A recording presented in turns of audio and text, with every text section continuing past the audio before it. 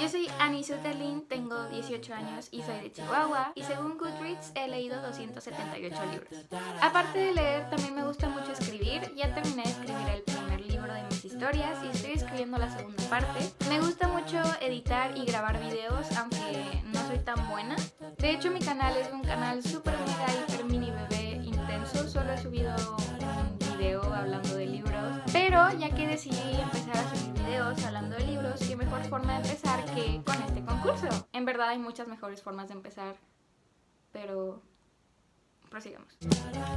El book tag que tenemos que hacer para la convocatoria de Bootcamp Plaza es la torre de libros. Como podrán ver ya tengo las preguntas pegadas aquí en mi espejo.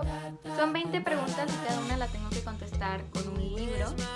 Y ya que tenga los 20 libros tengo que ordenarlos alfabéticamente en forma de torre y todo eso dentro de 3 minutos. Si se acaban los 3 minutos mientras yo estoy ordenando los libros, solo contarán los que ya están en la torre. Primero que nada tengo que quitar todos los adornos que tengo en mi estantería para no hacer un desastre, entonces los veo en... Tengo el cronómetro listo, así es que... ¡Ay! Vamos a empezar.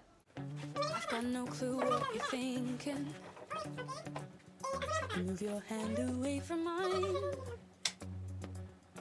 Shifty eyes and indecisions. What does it happen every time? Oh, won't somebody hold me and tell me it'll all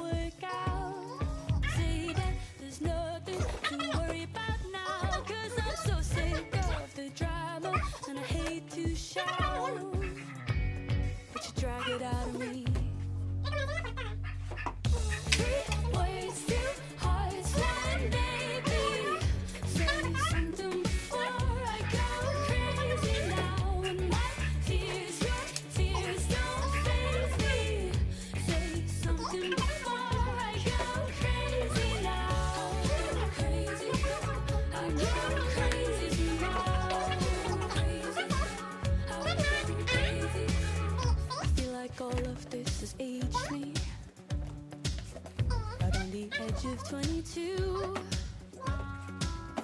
You look like you've just seen a monster. Is that what I look like to you? Somebody hold me and me work out? Say that there's nothing to worry about now. Cause I'm so. Tengo demasiado calor, pero creo que es mi culpa por ponerme suéter en verano, pero... Fashion. Alcancé a entorrear 14 libros. Thumbnail. Y rápidamente, porque este video tiene que durar menos de 5 minutos y no sé si lo logré, voy a empezar a decir los libros que logré entorrear. Magia robada de Mary Jo Putney y es el libro que se publicó hace más de 10 años. La Divina Comedia por Dante Alighieri, que es el clásico. Looking for Alaska de John Green, que es el libro con una recomendación en la portada. La Oscura Verdad de Mara Dyer y es la secuela que sale el próximo año. Libro con un cielo en la portada y es el quinto libro de Harry Potter y como verán tiene cielo en la portada Fight Me.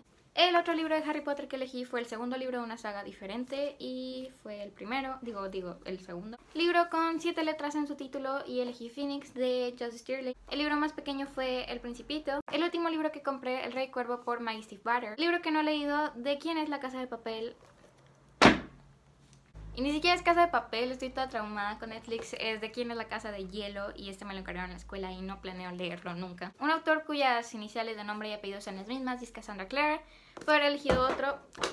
¿Por qué estoy tirando todo? Libro con cuatro o más colores en el lomo y elegí el kinda spin-off de Twilight. Porque tiene las manzanitas de distinto color, tiene negro y tiene plateado. Dragones de Éter por el libro que tiene el epílogo porque su epílogo es amor. Y Sindef de Marisa Mayer porque es el spin-off de La Cenicienta. Eso fue todo. Fue un poco extremo y creo que fracasé un poco, pero espero les haya gustado y se haya entretenido y quede como finalista. Jaja, ok, no. Raiza, si estás viendo esta parte del video, quiero que sepas que te admiro mucho. Te conocí cuando viniste a Chihuahua y lo siento por haber sido súper awkward. Pero te di un regalo y espero que te haya gustado mucho. Y Clau, si estás viendo esta parte del video, quiero que sepas que estoy muy emocionada por leer tu historia. En realidad creo que todo lo que haces es magnífico y sé que te va a ir muy bien como escritora. Y para ambas quisiera decirles que me gusta mucho la idea del bootcamp. Sé que las dos son capaces de lograr que el booktube sea una forma de poner un poco de cultura a la población mexicana. y espero que les vaya muy bien con todas las actividades que tengan planeadas.